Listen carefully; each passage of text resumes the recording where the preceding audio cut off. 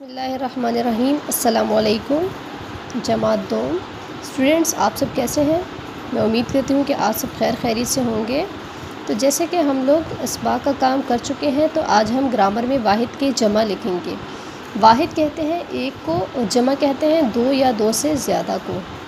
वाहिद, एक को, जैसे ये कलम है तो ये एक है, और अगर हम इसके साथ दूसरा कलम रखेंगे तो ये दो हो जाएँगे। तो ये जो दो हैं, ये जमा होंगे। अगर हम इसके साथ एक और पेन रखेंगे तो ये तीन हो जाएँगे तो ये जमा हो जाएँगे। यानी दो पेन या तीन पेन मिलकर जमा कहलाएँगे, और अगर हम इसमें से ये दो पेन निकाल दें और ये एक ही रहे तो ये वाहिद कहलाएगा। तो इसी तरह कोई भी चीज़ आप अगर काउंट करते हैं या उन्हें शुमार करते हैं तो वो अगर एक होगी तो वाहिद कहलाएगी और अगर ज़्यादा होगी, दो या दो से ज़्यादा होगी तो वो जमा कहलाएगी। तो चलिए शुरू करते हैं। नंबर एक है बच्चा। बच्चा की जमा है बच्चे, यानी दो या दो से ज़्यादा जो होंगे वो बच्चे कहलाएँगे। नंबर दो है पुर्ज़ा। पुर्ज़े। पुर्ज़ा कहते हैं मशीन का कोई पुर्ज़ा या कोई हिस्सा उसको पुर्ज़ा कहते हैं। नंबर तीन है तराना। जमा है तराने। तराना वो तराना जो जैसे आप लोग असम्बली में जब स्कूल आते थे, पढ़ते थे, वो तराना।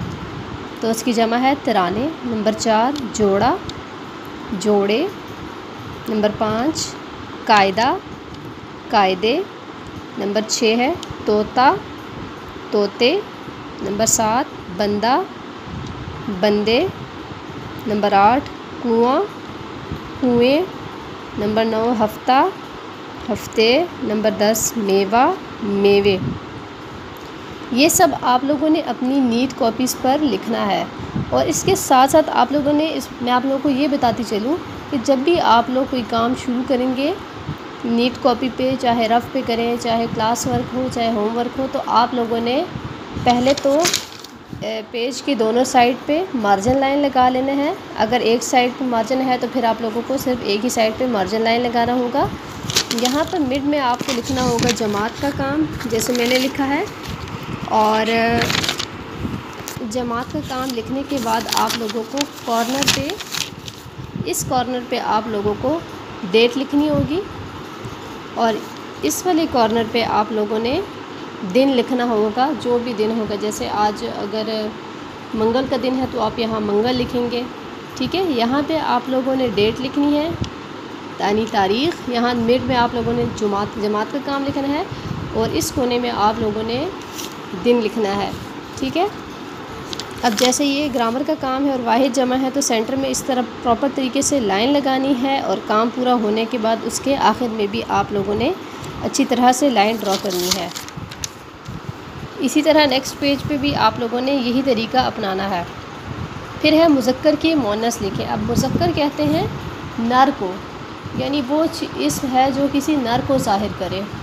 जैसे अगर आप लड़का हैं तो आप मुजक्कर कहलाएँगे, अगर आप लड़की हैं तो आप मोनस कहलाएँगे।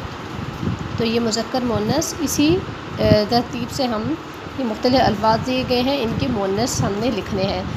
नंबर एक है मर्द मोनस औरत बाप, माँ, बादशाह, मलका, नवासा, नवासी, लड़का, लड़की, दादा, दादी, बंदा, बंदी, दर्जी, दर्जन गधा गदी, घोड़ा, घोड़ी। यहाँ भी आप लोगों ने यही करना है कि आप लोगों ने सेंटर में लाइन ड्रॉ की है। काम ख़त्म होने पर भी आप लोगों ने लाइन ड्रॉ करनी है।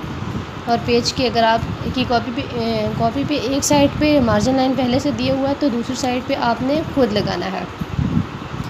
यही आप लोगों का आज के लिए काम है। नीट कॉपी पे आप लोगों ने इसे प्रॉपर तरीके से करना है। अच्छा जो भी काम आप लोग को दिया जाता है, आप जिस डेट से भी ये, जैसे फॉर एग्ज़ाम्पल आज अगर आपको काम दिया जा रहा है तो आज ही की डेट से आप लोगों ने वो काम करना होगा। डेट आप लोगों ने खुद मेंशन करनी होगी। आज के लिए स्टूडेंट्स इतना ही काम है। अगर समझ नहीं आती तो स्कूल के ऑफिशियल नंबर पर रबता करके पूछ लें। अल्लाह हाफिज़।